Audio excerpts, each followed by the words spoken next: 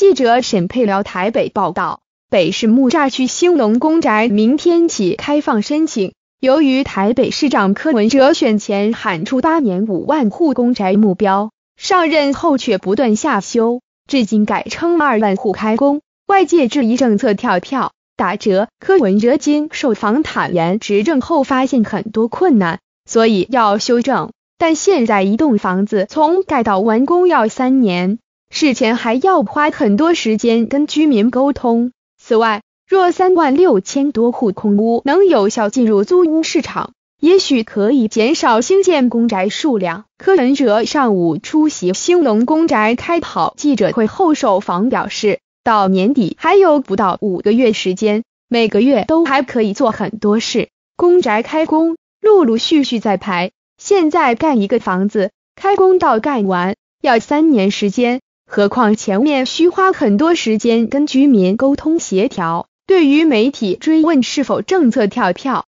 打折，柯文哲没有正面回应，仅重申可以做到两万户开工就已经很厉害。柯文哲也说，还有个因素要解决，目前北市超过十二个月完全没有住人的房子，还有三万六千户。这也是我们在思考，包含分级租金补贴、包租代管等政策，有在做啦，效果可以再加强。